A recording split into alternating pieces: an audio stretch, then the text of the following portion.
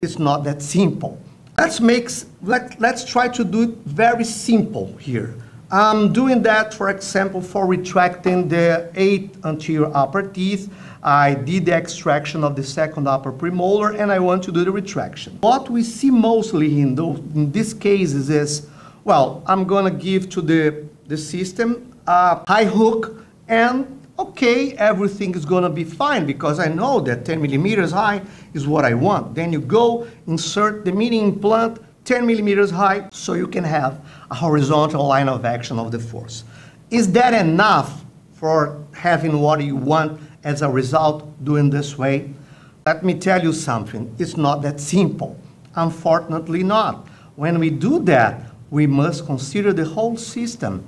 And I see mostly in internet, in the social media, people doing that.